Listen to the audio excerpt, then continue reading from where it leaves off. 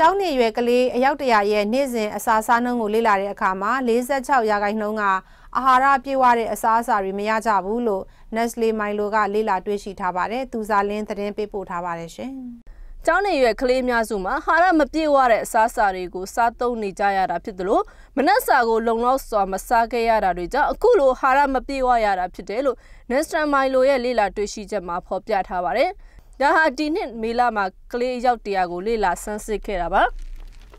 အဓိကလိုအပ်ချက်ကတော့ဒါများသောအားဖြင့်ကပေါ့နော်ဒါကလေးတွေမှာဆိုလို့ရှိရင်လည်းဟိုဆန်းလိုက်တဲ့ကလေးရောက်တရမှာဆိုရင်46ရာခိုင်နှုန်းလောက်ကသူကကလေးထမင်းဘူးကိုကောင်းအောင်မစားအောင်တုံးပစ်လိုက်တယ်တော့တုံးပစ်လိုက်တယ်ဆိုတာကအကြောင်းရင်းအများကြီးရှိတာပေါ့နော်ဒါတခြားအပြင်မှာအပြင်ကစားစာတွေကိုစားနေတာလားနော်မိဘပြင်ပေးလိုက်တဲ့ဟာကိုဒီဘာလို့မစားအာဟာရပြည့်ဝအောင်မရတော့ဘူးဆိုတဲ့သဘောပဲပေါ့နော်နောက်တစ်ခုကကြတော့ဗာလဲဆိုရင်မနက်စာကို အာမလက်စာစားလာတဲ့ကလေးကအယောက်80ရှိရဆိုလို့ရှိရင်ဒီထဲမှာမှကလေးအယောက်90လောက်ကနေပြီးတော့ဒါသူကပြန်ဘိုက်စာနေចောင်းချိန်တွေမှာဘိုက်စာတာမျိုးတွေအဲ့လိုမျိုးတွေဖြစ်လာတာကိုလည်းကျမတို့တွေ့ရတယ်ပေါ့နော်ဆိုတော့ဟိုအဓိကကတော့ဗာလဲဆိုတော့အာဟာရပြည့်ပြည့်ဝဝအင်းအားပြည့်ပြည့်ဝရသလားဆိုတော့မရဘူးဆိုတာကိုတွေ့ရတယ်ပေါ့နော်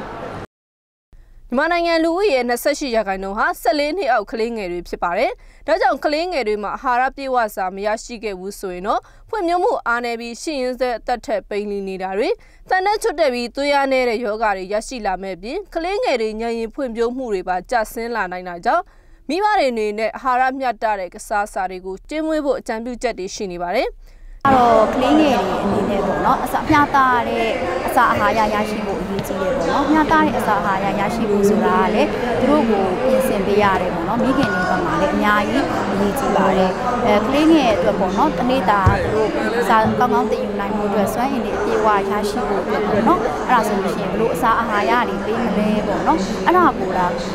မိခင်တွေကတတိကြကြသိတယ်ပေါ့နော်အမဆိုရင်သမင်မှုတစ်ခုမှဆိုလို့ရှိရင်ကျမတို့ဘယ်လိုစူးစမ်းပါမလဲဒါမျိုးတာတေချာသိလို့ရှိရင်တော့နောက်ပိုင်းမှာအာဟာရမျှတတဲ့ကျမကြီးနဲ့ညီတဲ့အစားအသောက်တွေပို့ပြီးတော့မှဆင်ပေးနိုင်နိုင်မယ်လို့ထင်ပါတယ်ကလင်းငယ်တွေဟာရပြေဝဖို့နဲ့တစ်ချိန်မှာတိုင်းပြည်ရဲ့ချန်ပီယံမျိုးဆက်သစ်တွေဖြစ်လာဖို့ဆိုရင်တော့ကစီဓာတ်အသားဓာတ်ဗိုက်တာမင်တက်ထုဓာတ်စတဲ့ဟာရ6မျိုးပါဝင်အောင်ကျွေးမွေးဖို့လိုအပ်တယ်လို့ဆိုပါတယ်ကျွန်မကသူစာလင်းပါ